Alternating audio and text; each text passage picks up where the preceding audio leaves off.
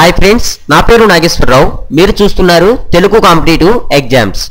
చూడండి ఫ్రెండ్స్ మనకి మన తెలంగాణ న్యూస్ పేపర్లో న్యూ న్యూ- ఈ న్యూస్ అయితే రావడం జరిగింది. దీంట్లో ఏంటంటే మనకి తెలంగాణకి అదేవిధంగా ఆంధ్రప్రదేశ్కి సంబంధించినటువంటి ముఖ్యమైనటువంటి సమాచారం ఉంది కాబట్టి మన ఛానల్లో ఈ వీడియో అప్లోడ్ చేయడం జరుగుతుంది.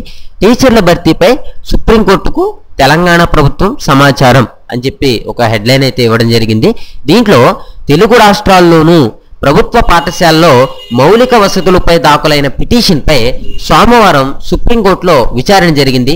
ఈ విచారణకు తెలంగాణ విద్యాశాఖ ప్రత్యేక కార్యదర్శి రంజీవ్ ఆచార్య హాజరయ్యారు. తెలంగాణలో ఉపాధ్యాయుల పోస్టుల భర్తీపై గత విచారణ సందర్భంగా అసంతృప్తి వ్యక్తం చేసిన సుప్రీంకోర్టు విద్య ఏంటంటే విద్యాశాఖ కమిషనర్ తన ఎదుట హాజరవ్వాలని ఆదేశించింది. తెలంగాణలో ఎనిమిది వేల ఏడు వందల తొంభై రెండు టీచర్ల భర్తీకి నోటిఫికేషన్ విడుదల చేశామని ఫిబ్రవరి రెండో వారంలోగా నియామక ప్రక్రియ పూర్తి చేస్తామని సోమవారం జరిగిన విచారణ సందర్భంగా సుప్రీంకోర్టుకు తెలంగాణ ప్రభుత్వం తెలిపింది. దీంతో ఈ కేసు విచారణను మార్చి నెల మొదటి వారానికి వాయిదా వేసిన అత్యున్నత న్యాయస్థానం ఇప్పటి వరకు ఈ టీచర్ల భర్తీకి సంబంధించిన తాజా సమాచారాన్ని ఇవ్వాలని ఆదేశించింది. మరోవైపు ఏపీలో టీచర్ పోస్టుల ఖాళీలు చాలా ఉన్నాయని సుప్రీంకోర్టుకు పిటిషనర్ తెలిపి తెలిపారు.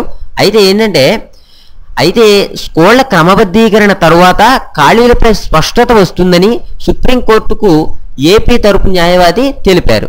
దీంతో స్కూళ్ళ క్రమబద్ధీకరణపై అఫిడవిట్ దాఖలు చేయాలని సుప్రీం ఆదేశించింది.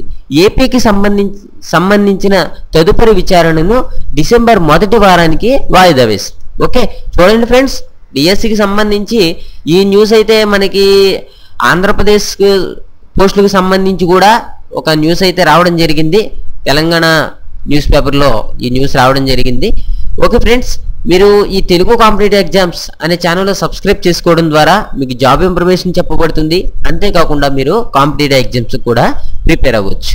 Thank you for watching. Have a next నా లేటెస్ట్ అప్డేట్స్ అన్నీ ముందుగా మీరు చూడాలి అని అనుకుంటే ఇక్కడ ఉన్నటువంటి సబ్స్క్రైబ్ బటన్ మీద క్లిక్ చేసిన తర్వాత ఇక్కడ ఉన్నటువంటి గంట సింబల్ మీద క్లిక్ చేయండి. అప్పుడు నోటిఫికేషన్ ద్వారా వీడియోస్ అనేవి మీరు ముందుగా చూడగలుగుతారు.